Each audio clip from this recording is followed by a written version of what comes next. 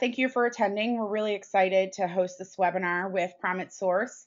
Um, and we have our lovely guest speakers, Michelle and Alan, who are going to talk to us today about uh, continuous integration, knowing it, uh, doing it, and doing this now. So we're really excited to have them. Just a little housekeeping before we begin. Um, make sure that if you're listening from your computer, select the mic and speaker audio option. Um, and you can wear a headset if you prefer, or you can listen live. Uh, we'll have you muted during the call, so whatever you're comfortable with is fine. Uh, we ask that if you're using any, uh, if you're asking any questions, use the Q&A window. There's also a hashtag um, that we're going to be using, and I can let you know that in just a second. Um, and you can ask questions there. Uh, also, uh, there's a post-webinar survey uh, that'll show up, and we encourage you to uh, use that so we can better improve our webinars for our attendees. Now a little bit about the Drupal Association.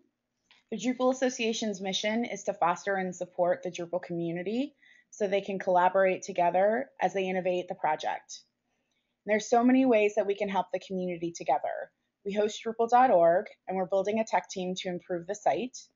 We provide grants for community members to fund ways that grow smaller communities and further the project, like starting new camps in new areas. We also host DrupalCons. We just had one in Austin, which brings thousands together to work on the project and bond as a community. We also provide scholarships to help amazing community members from around the globe attend the event. And all of this is funded through our memberships and our DrupalCons and our partners. Coming up, we have our DrupalCon in Amsterdam. Uh, that's going to be in September. We also have our Global Training Days program. This is a um, program for training companies to or community members to host uh, low cost or free training for Intro to Drupal members and um, it's a really exciting program to get people involved in your community and learn about Drupal. And then we also have an, another webinar coming up next week, June 24th. Metal presents Securing Drupal and the Tools to Test It. And we just want to take a moment to thank Promet Source and other supporting partners during our program. Um, they're really a, a, wonderful asset to the community and, and helps the Drupal Association put on things uh, such as our DrupalCon and, and supporting our programs that we're doing right now. So without further ado, I'm going to switch it over to Michelle and Alan from Promet Source. Again, if you have any questions, please uh, let me know in the Q&A and I'll switch over and ask those questions. So everyone, um, thanks for joining us. Uh, this is Promet Source. Uh, today we're talking about Drupal and continuous integration. And the message today is do it yourself, do it now, for real, you might have heard of this before, you might have heard of continuous integration, but we want everybody to have a takeaway here. Um, wherever you are in the spectrum, whether you're just getting started, you're just learning about it, uh, we hope that there's something, whether you're a project manager, a, a product owner, a developer, there's something here that you can take away um, and start doing continuous integration now. In this presentation, we're going to go over what CI, continuous integration, means to Promet, and that has been something that has evolved over the years. We'll talk about why it is important, why this is something that people talk about. And then Alan, my co-presenter here, uh, will go over his 10 principles of CI. And finally, we will um, dare to do a live demo. But first, um, we would like to little, know a little bit more about you, why Alan and myself are tittering on um, introducing ourselves. If you could go find the chat um, over on your um, on your webinar and tell Lauren why you're here. So um, maybe you're here because you heard CI, you kind of have this vague sense that it's important, you want to know a little bit more about it. Uh, maybe you're already sold on it and you feel really overwhelmed and you're just looking for a starting point. Or maybe you already are rocking CI and you just wanted to come and get some affirmation about how much better you're doing it than us. And we would love to hear from you too. Please um, let us know what you're doing, um, all the awesome stuff. We'd love to, um, you know, to give you a shout out um, and to clue people in on other things that other people are doing. There's certainly many ways to do CI. Um, or maybe you're just here, uh, you have no idea, someone made you come here, you were trying to make it look like you were doing work today, um, and you're going to take a nap you're welcome. So while you're finding a chat and telling Lauren why you're here, um, Alan and I will introduce ourselves. My co-presenter is the great Alan. Um, Alan Chappell is a um, Drupal solutions architect here at ProMet Source. He is the maintainer of Views natural sort. He has built modules to help um, migrate into CiviCRM. Um, he's done a ton of work with CiviCRM, a lot of a huge background um, in automated testing. He worked at All Players previously before coming to ProMet um, and has brought on a lot of knowledge about automated testing, PHP unit, you can tweet at him at um, General Redneck, his blog down there, generalredneck.com. He's all over Texas. Um, definitely check him out. Ellen, are you there? I'll introduce myself, Alan. I, on the other hand, less interesting, Michelle Krejci. I'm a developer. Uh, I'm a curmudgeon here at um, the Chicago-based office here in Promet, at Promet Source. You can find me on um, Drupal.org or um, tweet at me at devmishev. I have done a lot of work with uh, continuous integration, um, mostly because of my curmudgeonness and wanting to make things work better. We also need to give a shout out to our dear friend um, Will Milton, who's not joining us today, but he's a solutions architect, a guru, a wizard here um, at, um, at Promet Source. The best way to find out more about him is by looking at his GitHub account. We'll talk about Vagrant, we'll talk about Chef, um, even some packagist composer things, um, and Will Milton has really spearheaded it all. He's doing some very cool things in the Drupal community. So, Lauren, Um, so it looks like we have a couple, uh, we have a mix. We have a couple people that um, are just getting started and really wanted to kind of get an idea of, uh, you know, what what is this and how do I do it? And then also um, some people that have a little uh, difficulty with CI and just uh, kind of want to hear a little bit more from the pros on how it can make their life more exciting and productive um, for their for their work life. So um, it looks it looks a little bit mixed as we suspect. No, no smug, no, no smug. No, um, no. That's, that's too bad. Um, well, great. I, I, I hope then that um, our webinar today can be both too technical and not technical enough, and just find a way to disappoint everybody. Um, we'll, we'll look for that sweet spot. Once again, if you have any questions, um, you can tweet at us. Um, you, can, can, also talk to Lauren. You know how to find her now. Um, but you can uh, also sh shoot us a, a question um, this has hashtag.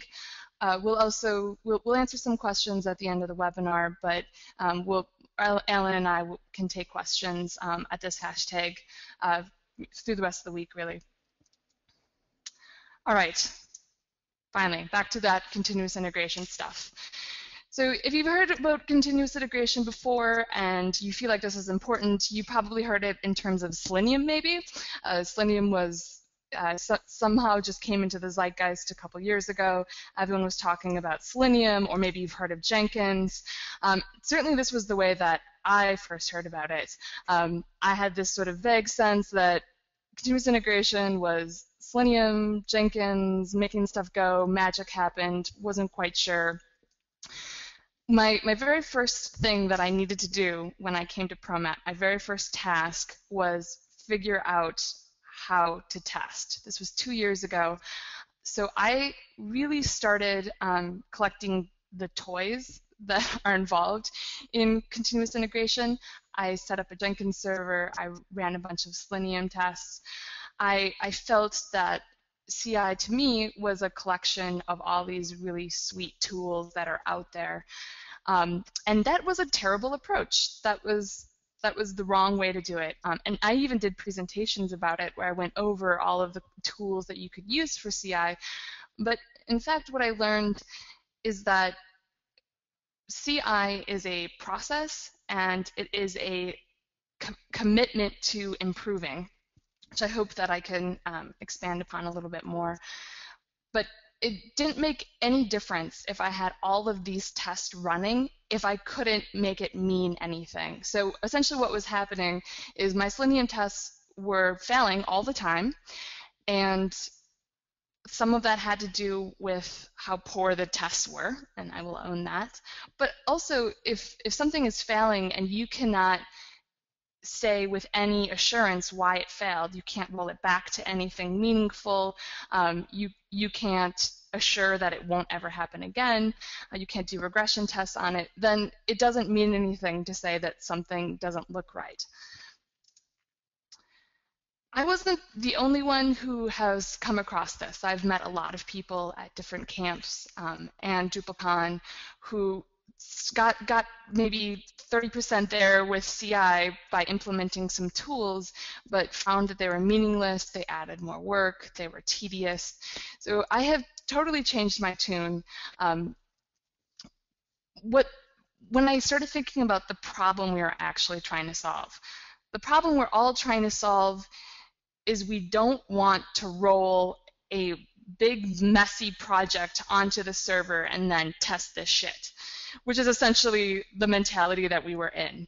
So we would develop, we would add some configuration, we'd have some stuff in the database, we'd have some stuff in code, we'd have all, all sorts of bits of code that would come together and we'd roll around Katamari style, putting this project together, and we'd roll this big ball of stuff onto the server and just expect QA to tell me if this is okay to put on a production server somewhere. This is the problem we were wanting to solve. Just collecting a big ball of stuff. So when I started to realize that continuous integration was not primarily about cool toys, and I started thinking about it in terms of a process, we formed a definition of continuous integration for us. So here at PROMET Source, what continuous integration has come to mean is just finding opportunities to inject small bits of quality insurance into our development process at every stage. So rather than thinking about an, an, enormous process all at once, and how are we going to have all this automation, and we're going to deploy and build, um, those pieces came later. But when we just found small opportunities to start doing things, that's when we really started to cook. So I could Google this for you. I could Google continuous integration for you. If you Googled it yourself, you would um, maybe come across this wiki wiki page. This is from the continuous delivery uh, wiki. Um, and, and you see a, a, a process here where you have your, your development team and they're using version control. If you don't have version control, that's the first thing you're going to do today. That's your takeaway. Go home, get Git, um, put all of your projects under version control. Um, once you have things under version control, then you can start to work on building um, and locking down your build. We'll talk about how we've locked down our build um, and our deployment. Once you have that, then you can start adding acceptance tests. Then you can start adding user acceptance tests, and then you can have automated um, releases. So we'll talk about how we've done that, and um, yes, the cool tools that we've used to do that as well. So knowing that this is how we have improved ourselves, I think I can start going in and showing you what to do.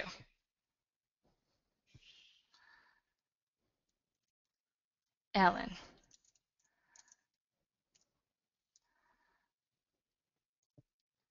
My, there we go, finally.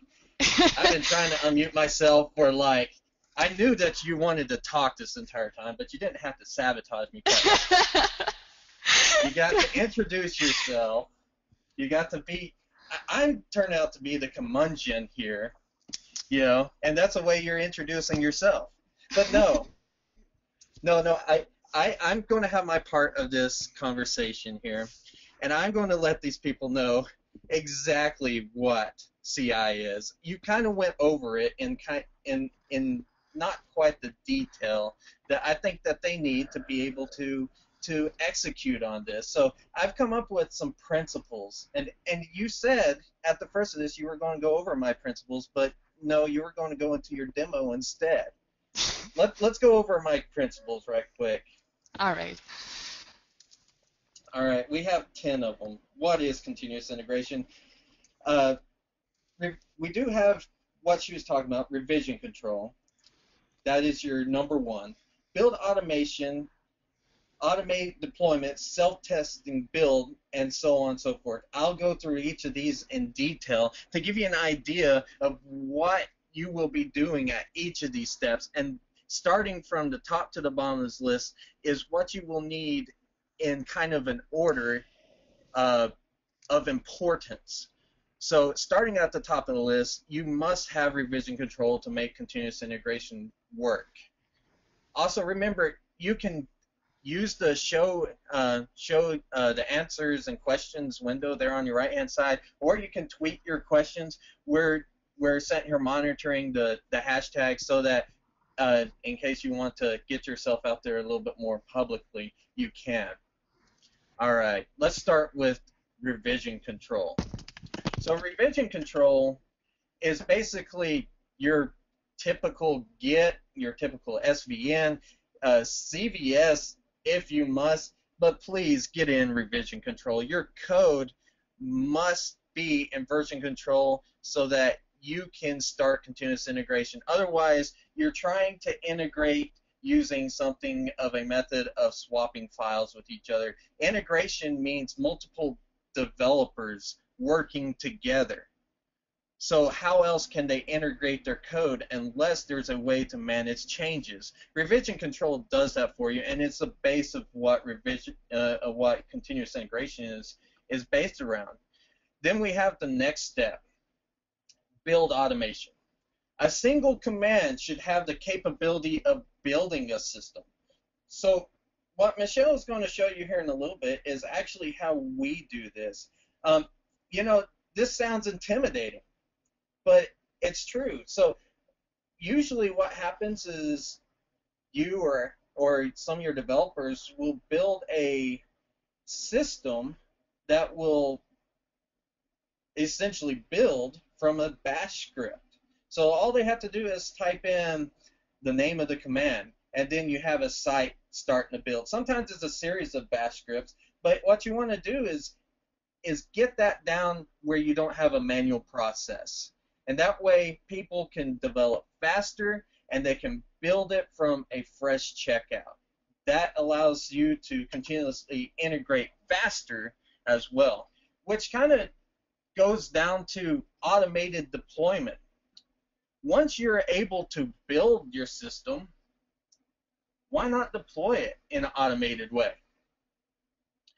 Deploying it in an automated way allows you to, one, just build an environment on a trigger. Let's say like uh, GitHub. GitHub has the ability to hit up an API whenever you make a pull request. So with that said, then you could then you could have it build on that on that trigger. It'll be automated, so it's much faster than a manual process. How you have you ever had it where the project manager is always sitting there nagging you about, okay, can you build dev for me? Can you build dev for me? Can you build dev for me? And this happens like multiple times during the day because you have the updated code. They want to see that. Now, if it was automated, you wouldn't have to take that time out of your routine to go and build dev for your PM it's also gives you it's less mistakes because it's the same process over and over. There's no human er, human interaction or error, and it usually provides an automated contingency uh, plan. So like whenever you're deploying to live, you have yourself a plan to roll back. So you you build that into your script, then you can just it says, oh, I, I failed let let's let's restore the database and everything and and this happens without you having to do uh, interaction. Jenkins is a really good CI server out there. There's a couple others that we that I've heard about here recently. Like Go was a great one at uh, at DrupalCon that we got to hear about from uh, Rob Ristroff. And there's also Travis CI, which is one we use in particular, and I'm pretty sure that Michelle's going to tell you about. Next, we would have self-testing build. So Travis CI and the like, they auto, they allow you to automate your builds. In the build process, you can also take advantage of that time to test your build. So what that means is, and so we're, we're building upon our original concept. We had our vision control. Using our vision control, we can store tests now, right? And using our our um, our uh, automated deployment and automated build, we can now run tests during that time using PHP unit. This will confirm the behavior of our build at that particular time. And so what this allows you to do is to have some insurance that, hey, everything's okay, is a peace of mind. Now, that's not, it, it kind of depends on the quality of test you write, which Michelle also talked about just a moment ago. But at the same time, some tests is better than no test. You have that green or red light letting you know on every build that, hey, I'm good, or no, we, we, we can't accept this pull request. It's better than code review. So, what's better than self-testing your build? Well, let's minimize what's happening, uh, the differences between production and our testing environment. Or in this case, maybe even our local development environment. So this is kind of where Chef and what we use VirtualBox, our virtual machines, come in come in handy. Because environmental changes can lead to our failures. Um, for instance, one here recently I found out is CiviCRM does not run on anything lower than PHP 5.3. Well, I mean, we all should be up to the latest version of PHP. Yeah, I know. But there's still some servers out there running Ubuntu 10.10, which only get uh, 5.2. You know, um, there. So if you don't have a machine or an environment that is running that particular operating system, then how do you know whenever you deploy that it's not going to blow up? So test in a clone of production. I mean, you can make a scalable version. You don't have to you don't have to uh, have it to where it's exactly the same, but test them in a uh, in a clone of production. So another thing you would like to do, I I threw Michelle off here. another thing you'd like to do is frequent commits. Okay, you want to commit often. Commit make frequent commit commits make the makes debugging easier it gives you a better history of what's going on. Um, I don't know if any of you are developers out there, but the glory of of uh, Git bisect is phenomenal. If you don't have frequent commits, however, that makes it a lot harder for you to to do said uh, you know uh, Git bisect because with uh, with bigger commits, your problem is in a bigger area. You can't narrow it down. So it makes it easier to merge, move, add, and make changes, and makes code consolidation easier. Alan, can I ask a question really quickly? Yeah, go for it. Great. Um, I have two. Why are you using Chef instead of Puppet or Ansible? Okay, so that's a good question. As far as you know, there's different flavors, many different ways to do things. Puppet is definitely a great uh, server management system. Chef happens to be what we do a user group at there in uh, there in uh, Chicago, and what our uh, generally what our team knows how to use. Puppet definitely can be used, and also Chef was supported by Vagrant before before Puppet was. So that was another reason we use Vagrant. Um, Michelle, if you have anything to add to that, go for it.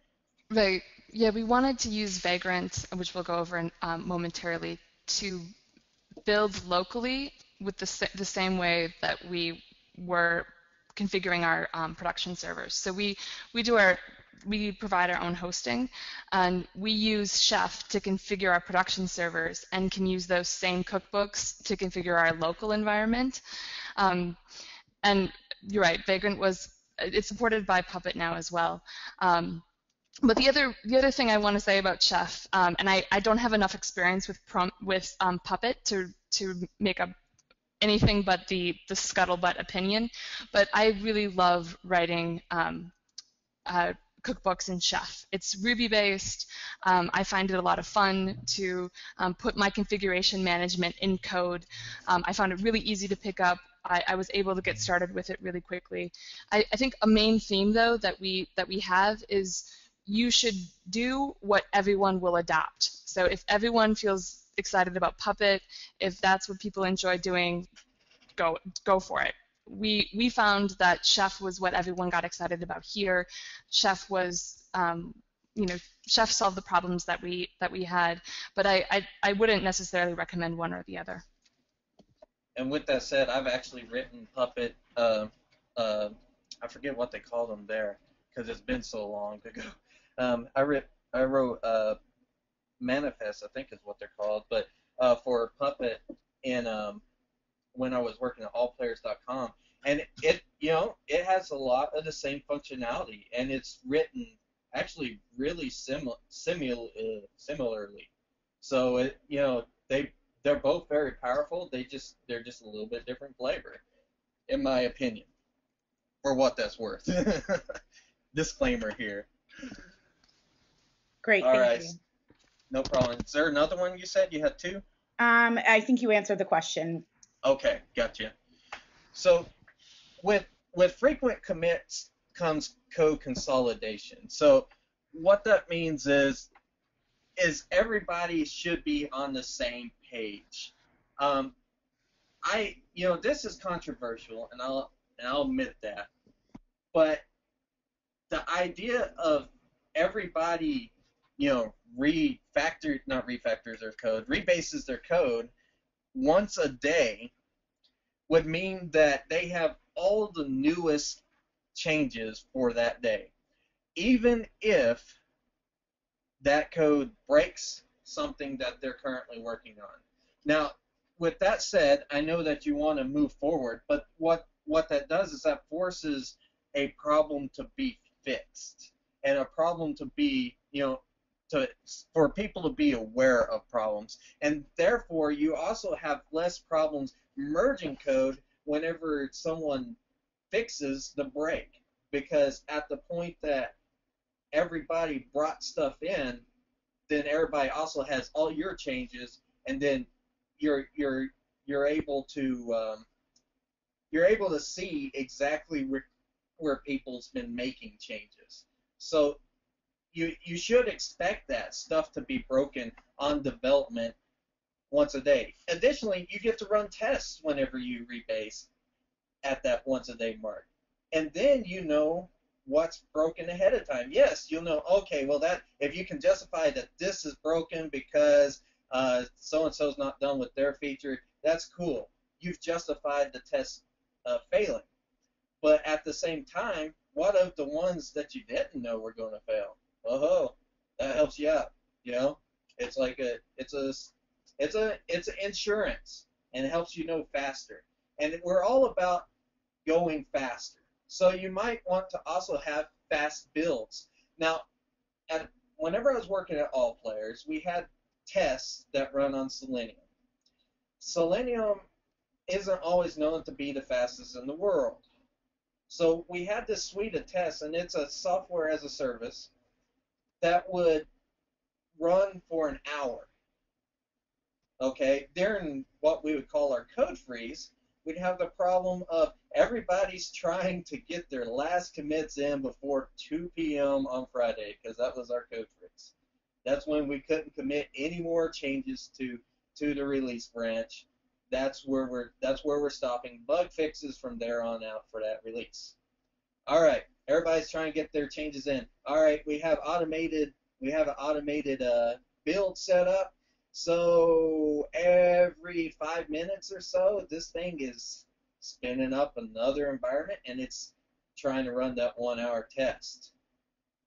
So it wasn't fast. It was actually clogging up our workflow because we had to wait for the test to be finished to be able to go and, and, and see what those, you know, to see how that particular build would fare.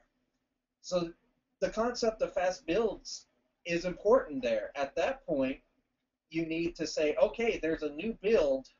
Let, let's go ahead and either abort the tests because we want, you know, we'll probably get this on this new one, or we need to make it to where we can build multiple ones simultaneously.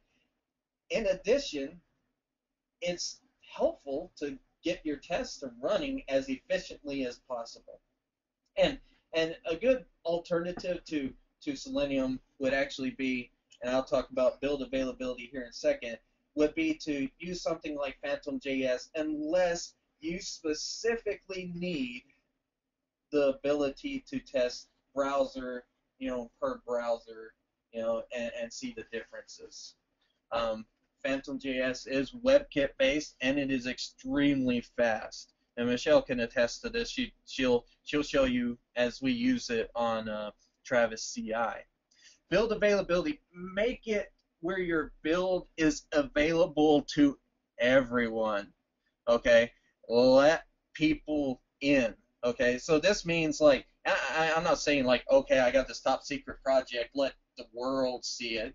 No, let your clients see it. Let your PM see it. Let your developers see it. So at this point, you can you can see any build that's ever been made and be able to make them on on the fly.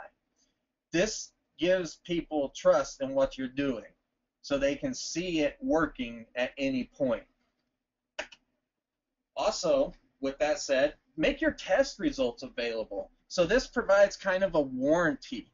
Um, when we get to talking about uh, behavioral-driven development, um, which Michelle's done a little bit of Behat. No, I say a little bit. She's done a lot. You can actually use your test cases, your use cases, as a uh, as requirements and as a insurance for the project. So in this case, if each of those requirements that you built into the hat test cases do not show up as green, well then you have something wrong that you need to fix. But it also shows if you can keep those green, you have a warranty saying, okay, these have all passed. The functionality that you have asked for is being delivered to you now. You can also find your find your problems earlier. Um, so what we used to do at at uh, all players and what we've wanted to do at Promet um, is actually send out the test results to everybody. So at this point, our project is done. Our you know is done building, and now we have a list of test results. In fact, it kind of happens during our code review as it is with Travis CI because we get the little green checkbox or or the or the red X that says, "Hey, you know, I'm a I'm broken or I'm fixed." and that's pretty much where we want where we that's your 10 properties uh, of uh, continuous integration. That's that's where you want to be. You don't have to be at the through the entire list but try to keep those in in mind in that order because that is like your ultimate goal the holy grail right and like we want, um, yeah, I'm, I'm going to show you a, a, little bit about what we do. Um, please know that it's been a evolving process. So I had said earlier that I had started with Selenium and Jenkins, and I was testing um, sites that were about to go live. Um, and that wasn't working because we had just Katamari'd a big ball of Drupal configuration stuff. Um, and something that that um, Alan you didn't mention was getting your being completely database independent. We getting ourselves database independent, um, which means that we build from scratch as you know as much as possible, as often as possible, which means putting configuration in code. If you're not doing that, that's your step. You have to absolutely have to put your configuration in code. Um, that was our first thing, so that we could take the ball apart and put it back together over and over and over and over again, um, so that we didn't have a giant ball that was not replicable. Um, so, so what, what did we do? Well, we we used Chef, like we said, Chef, Puppet. Um, these are configuration um, management tools. So we used Chef to lock down how each of us were building locally in a way that matched production. Um, we use Chef in in um, uh, and this is our Chef cookbook here. You can check it out um, on on GitHub. How how we spin up um, virtual environments using this Drupal cookbook. Uh, we, but we use Chef to configure our production servers using a Drupal cookbook, and then use Vagrant. Uh, Vagrant Up is the um, the docs online. We use Vagrant to configure virtual boxes. So now our projects include a way to build with a single command um, a local environment that replicates how production was made. And finally, so with, that, um, with that said, you know we have the first four of my principles already covered. You know that, and that's a great place to be if you can just get that far. Right.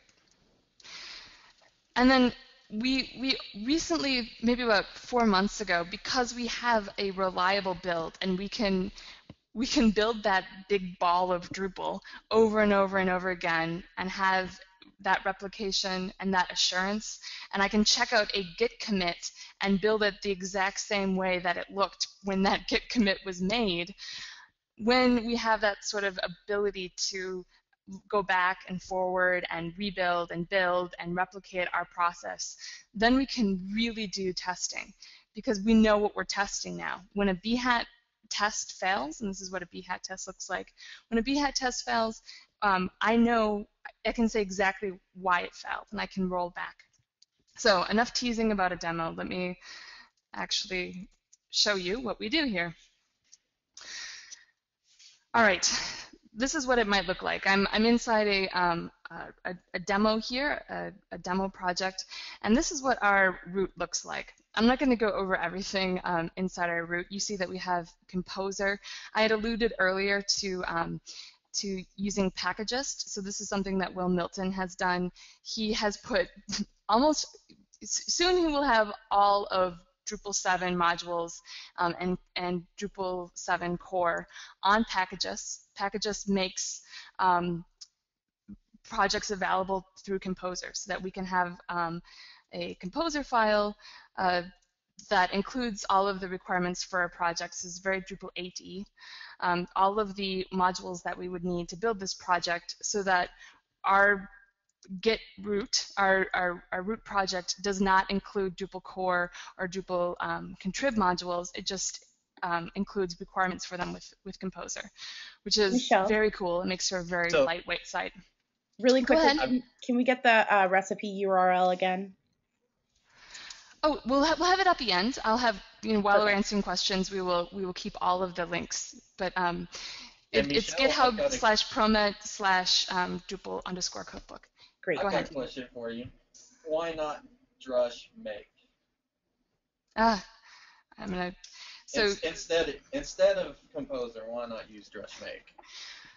Well, um, since this is going to be publicly made available, I don't want to slam um, drush make, but drush make um, is, as anyone who has worked with drush make knows, unreliable, slow. Uh, it, it, does a really good job at archiving what your project looks like, keeping track of package of um, patches, that sort of thing. But in terms of reliably building your site for you and managing your dependencies and making sure that you know a Drupal contrib module has all of its dependencies before it runs, um, I wouldn't do it. so with that said, Composer is the way Drupal 8 is going. And Drush, I mean, Drush Make has done some incredible work at at emulating some of the capability that Composer does already have. Um, and I, you know, it's fair to say that Drush Make was probably around before Composer actually, but Composer does it so much better.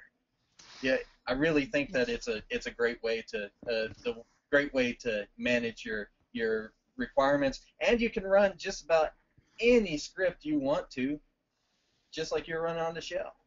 Absolutely. Yeah, props to Will Milton, Windmill Will, uh, for putting Drupal up on Packagist so that we can use Composer in Drupal 7. Uh, that's very cool.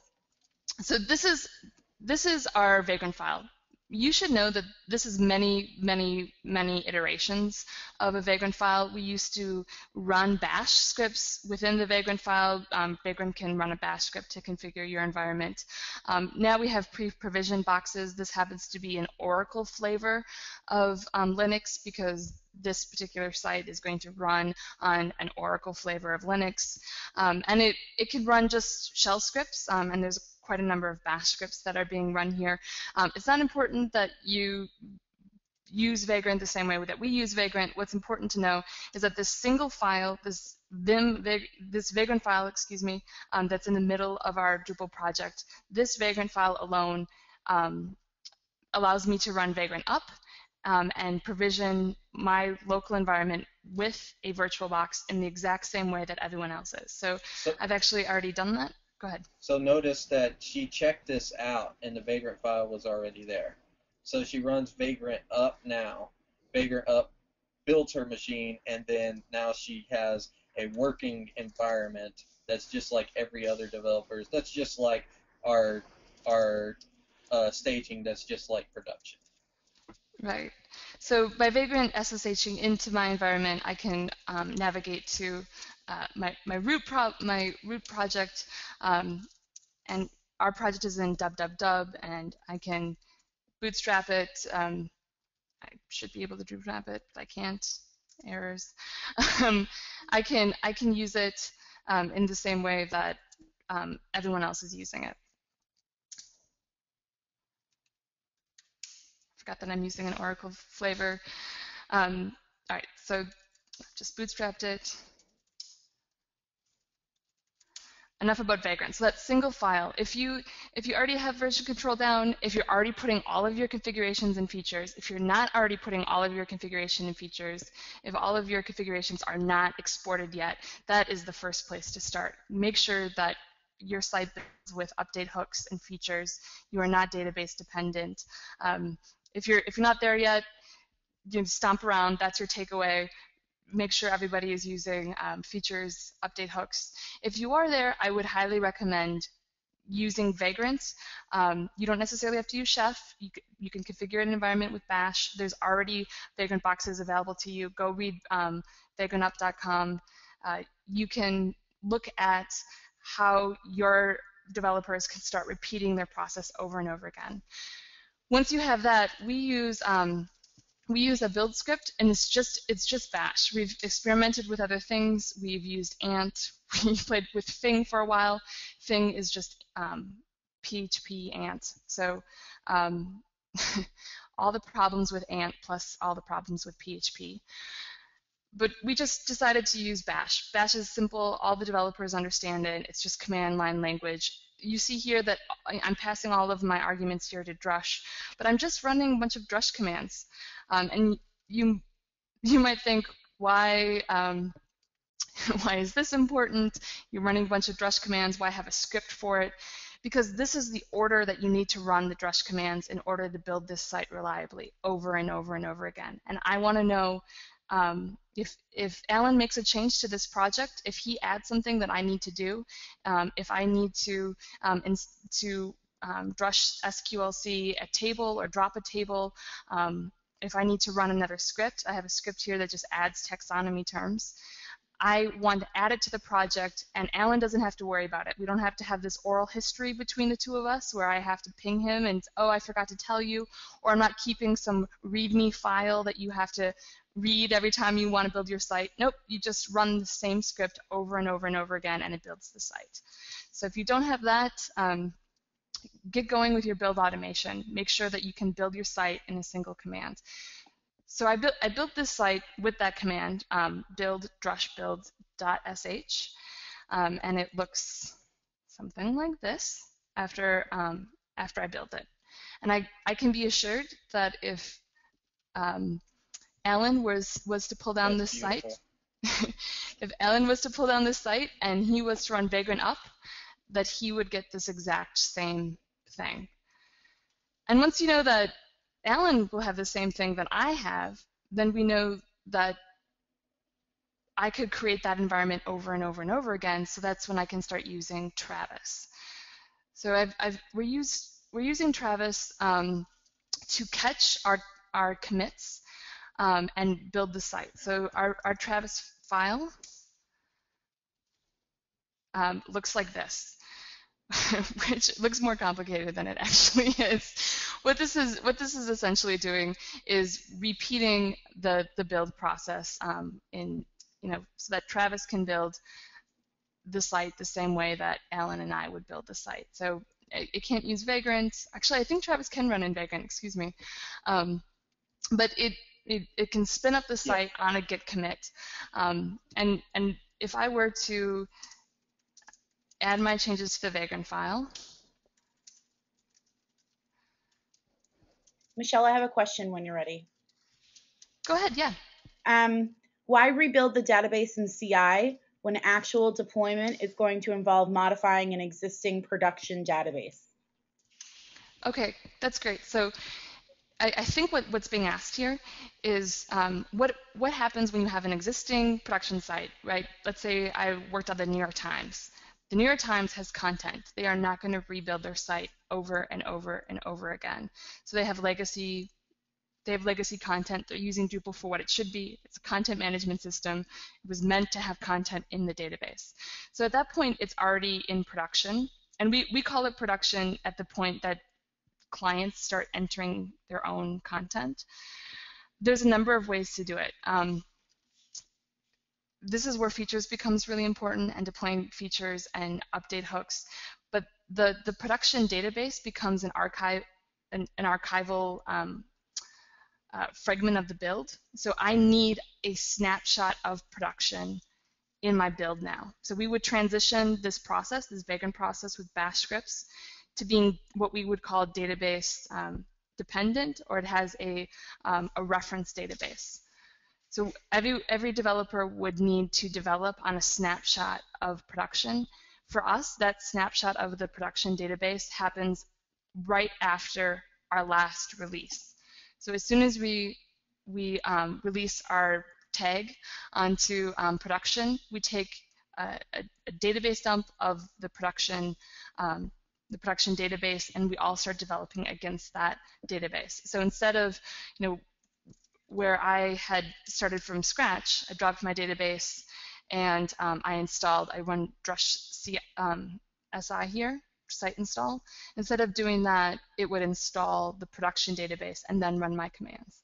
Okay. So with, um, that, with that said, also, um, we would also, it, it helps for people who do support because they can actually grab a a a uh, reference database from live at any point and just throw it in there and then have the build happen as well. Um, this will you know this will give us a look to see you know exactly how uh, our next like update process is going to happen like our next release it allows us to emulate that so that we can actually test what releasing is going to be like before it actually happens so I have a couple follow-up questions from that, if you have a minute. Um, do you manage any aspect of the update process in site-specific modules, update hooks? Can you, Lauren, can you repeat that again? Site-specific module update hooks? Correct. Do you manage any of the aspects of the update process? Yeah, I think I got this one. Um, okay. So basically, what's happening here is they're asking, are we using update hooks to update our configurations and you know specific portions of the site? And the answer is yes. Um, we use features primarily for things that are configurable and things that behave nicely in features.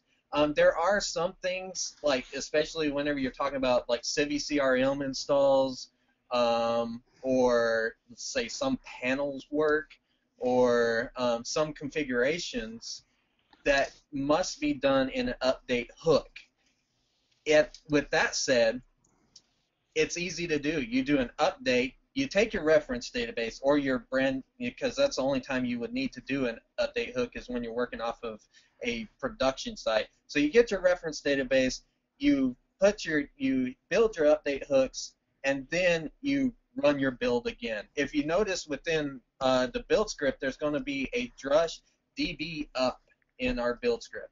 That's going to update the date. That's going to update the um, the current snapshot we have with all the updates of any module that happens to be installed. So, for instance, if we upgrade the version of rules and it has update hooks, those are going to be run as well.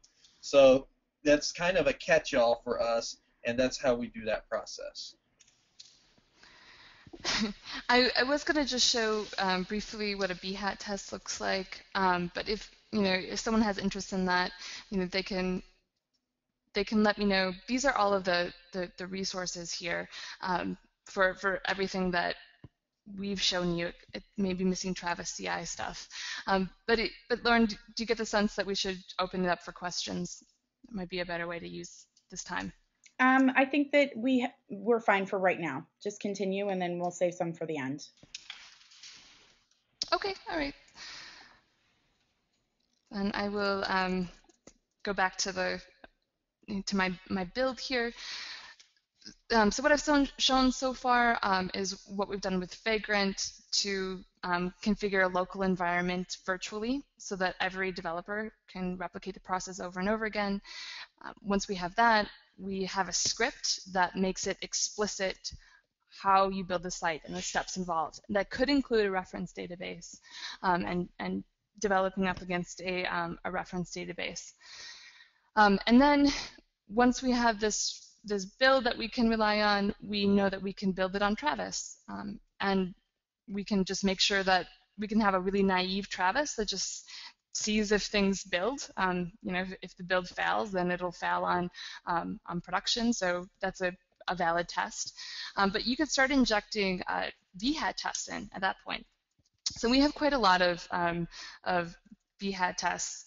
I I started to um, uh, I, I've I, have i have started to uh, now that I've spent several months working on Behat, my ideas about Behat have changed quite a bit. This isn't a, a Behat presentation, so I won't go too much into it. But um, if you're if you're wondering how do I start with Behat, we honestly shifted our weight about it for many months. We talked about doing it a lot more than we actually did it. Um, there is a Drupal ex extension. There's a there's a Drupal class um, for Behat that allows you to do some basic things, um, bootstrapping Drupal. Uh, we, we do have that link. That's the um, Drupal extension. I definitely recommend checking that out. Um, again, we, we're using Composer to manage our dependencies. Um, if I, I recommend having a Composer file just to go and get um, Behat and the Behat Drupal extension. Um, that's how we how we get it onto each of our local builds once you have that, um, just keeping a suite of tests that, that can be pretty simple. Um, we these tests are are very naive. Um, they just make sure that all the links that you want to see are on the homepage. I felt really silly writing this test when I um, initially wrote it. I actually wrote this test to give to another developer um, as an assignment, right? I'm just creating a ticket in Redmine, um, and instead of saying, hey, give me a menu, give me these links, give me, um, you know, make sure I can navigate to each of these pages, it was really great that I could just write a test that says, hey, develop until this test pass. Um, and this is the kind of ticket that developers want to get. We don't want a ticket that says, give me a content type, then create a view and a menu link to it we would rather have, or at least I would rather have, um, the kind of um, requirement that was made explicit here so that I could define done and know when it was done and ensure that it stayed done. And that's the biggest problem with Drupal is, is regression testing, making sure things stay done. And I wanted to highlight this in particular because um, this is fairly benign. Uh, this just goes and makes sure that like social links are there, right? Um, and in fact, this test was breaking the other day. Uh, from after something I had done that I thought was completely unrelated, and it turned out that I had inadvertently messed up some of the permissions here.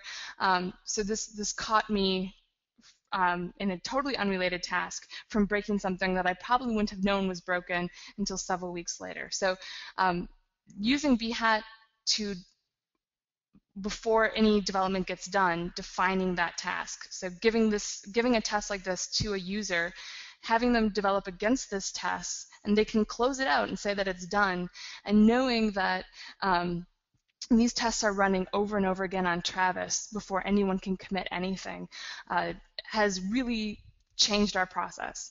So we were finding that the last 20% of any um, project took 80% of the time. So we would we would fly through a project, we'd get really close to done, and it just felt like we were doing and redoing our work over and over and over again because work kept breaking work that we thought was done.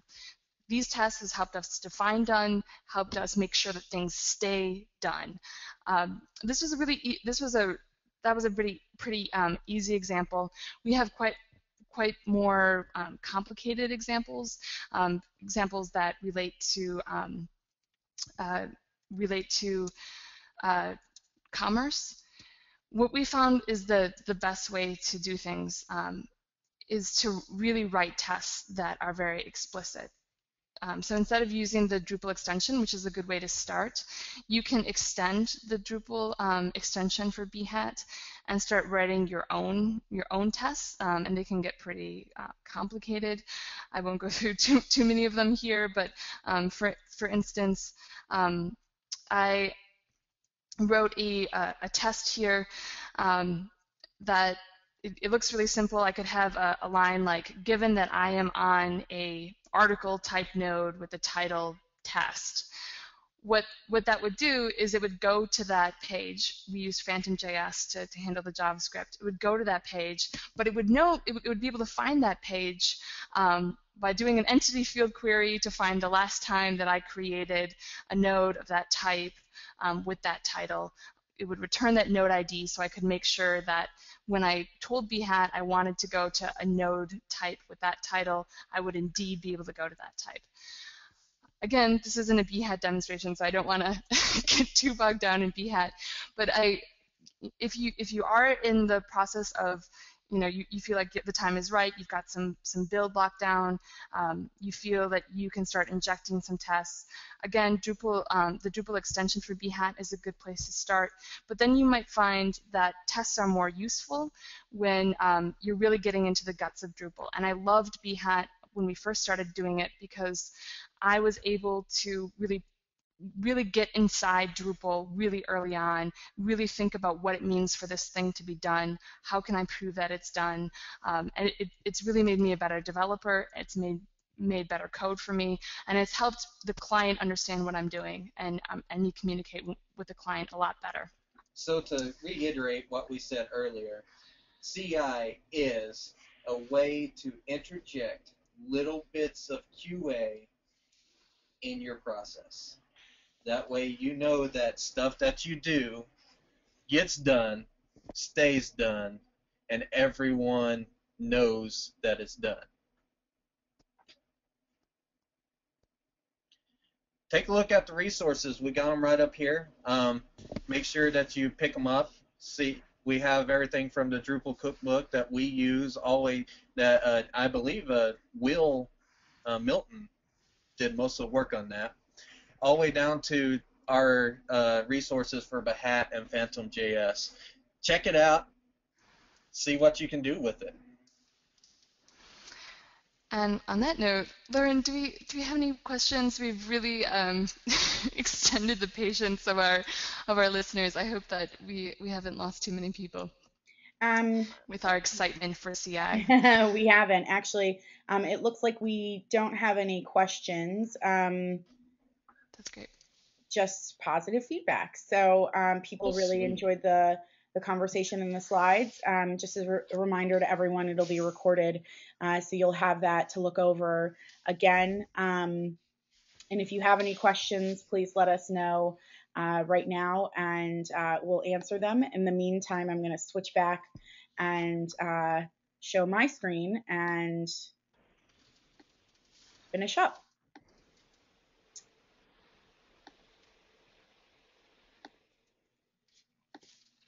So again, just as a reminder, we have um, our programs coming up. We have Drupal Global Training Days, which is a low cost or free uh, intro to Drupal training. So if you are a training company or a community member that uh, is active in your community and would like to build our leadership and growth of the project, this is something you can get involved in. You can click on the link or you can contact me directly about the program. Um, it's really fantastic. So far, I think we've had over 25 countries participate uh, this year. So we're really looking to make this a global effort and uh, spread the word about Drupal. We also have DrupalCon Amsterdam coming up. Uh, the website link is there. I know the early bird price is ending soon, so it might be something to consider uh, if you find this this topic interesting as well as other topics. Uh, DrupalCon is a really great place place to network, um, as well as take educational settings and um, educational classes, and it's a great setting to just meet the community and uh, work together.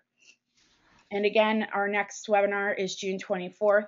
Metal Toad is presenting on securing Drupal and the tools to test it. You can also see at the bottom of the screen our webinars, and uh, there are more listed and more to come. So just as a reminder, um, I, you know, our membership, either from an organization or an individual membership, is really what uh, helps us, as well as our supporting partners and tech partners.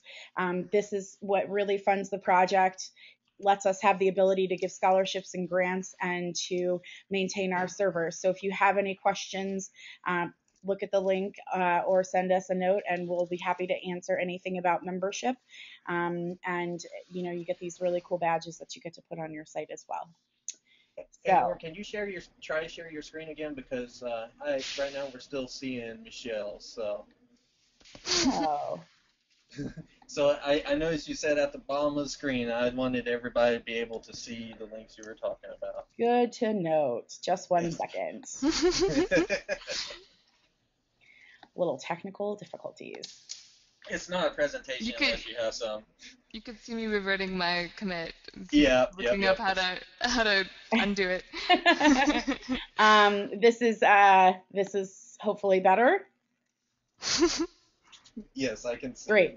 Um, here is here's the information on uh, DrupalCon, our global training days, and our webinars.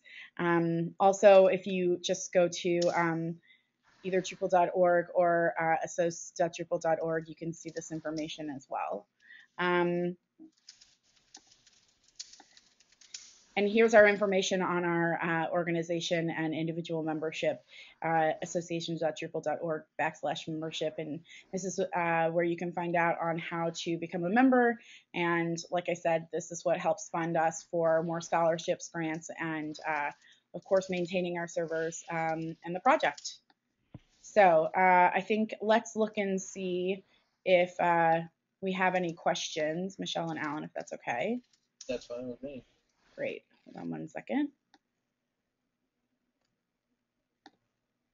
Yeah, I know it, it says it's nine your time. It's lunchtime for me. So. Um, I'm also going to look on Twitter to make sure that we didn't have any questions under the hashtag. Uh, all I all I've seen so far is actually somebody uh, showing the showing the picture of yeah. There we go. Yeah. If you needed that link, there you are. there you go. Um, Yeah.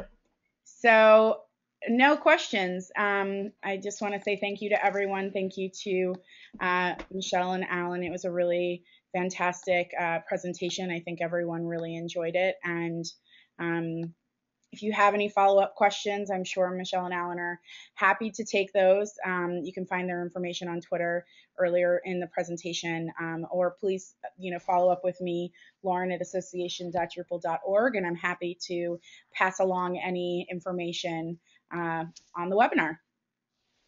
Sounds great. Great. Thank you guys so much. Thank you very much. Thanks, Lauren. Thanks, guys. Bye.